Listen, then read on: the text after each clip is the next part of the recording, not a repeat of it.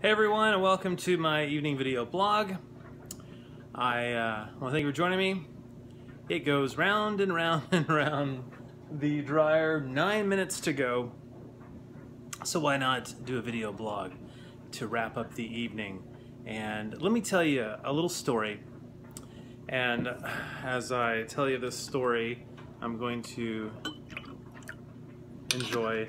Uh, by the way, this video blog uh, was not brought to you in part by Knudsen uh, organic grape juice. I just happen to like it. So, uh, anyways, uh, let's put some San Pellegrino sparkling water in here just to really give it a little bit of pep. One of my vices. So this this dryer, actually the washer that goes with it, has a story. And I got to give credit where credit is due to my aunt because she is like if you're looking for something, she can find it. Like if it's uh, something in an estate sale or yard sale, uh, she's the person to, to call. And so she knew that we were needing a washer and dryer because the set that we had was just not doing so well, and we knew that it was uh, on borrowed time. And so she calls and says, "Hey, I heard about this this washer and dryer. It's at an estate sale. Go uh, go check it out." So we went and checked it out, and they were not asking that much, considering it's like brand new. I mean, they'd hardly used used the set. And I think I, I forgot exactly. I think they were wanting like eight hundred dollars for both uh, you'd be lucky to, to get just one of the units for $800. Uh, I'm not even sure what they are brand new now, but uh, we, we said, hey, would you would you take 400?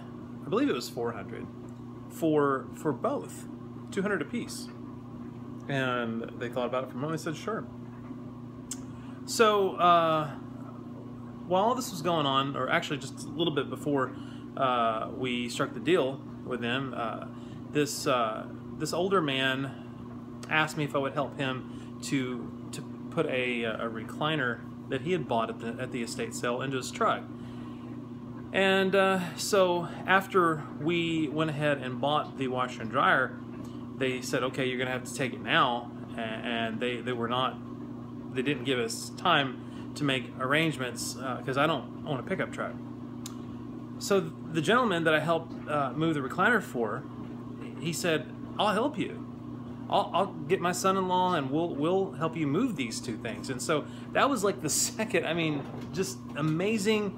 Uh, and, and, some people say, "Oh, that's small. That's that's you know just you're just talking about a few hundred dollars, and it's a washer and dryer." But it's a big deal because our old washer and dryer was just a pain, and it was not efficient because it was it was the clothes weren't drying out uh, and so you had to, to do it again and do a couple of cycles and it just was and so this is, has been a great great thing to have a real blessing. It was a good deal and so i'm thankful for that but it's about the right timing. Timing is so crucial. And speaking of timing here i sit sharing with you a, a really interesting story as these clothes go around, I got six minutes to go. And I think about the timing, my timing with with Steemit.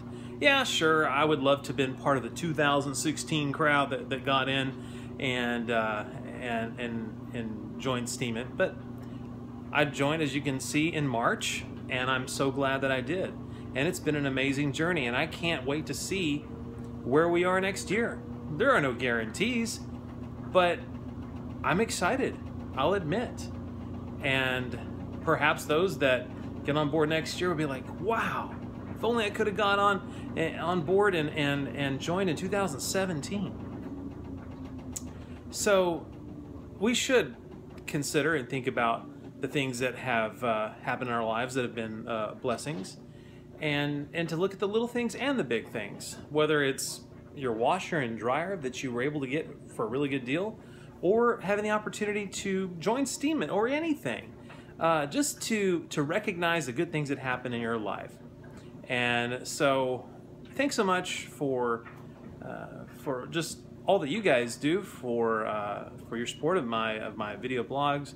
I appreciate the upvotes, resteams, the comments, and these are my opinions, and uh, and certainly not to be interpreted as uh, investment advice or or uh, guidance for the future. But these are just my opinions and thoughts and, and perspectives, and I enjoy sharing them and, and, sharing stories and just the things that I look at and and and my from my vantage point. Uh, don't forget, you can also follow me at Breaking Tonight, and I want to wish you a great, great evening. We'll see you tomorrow. Bye bye for now.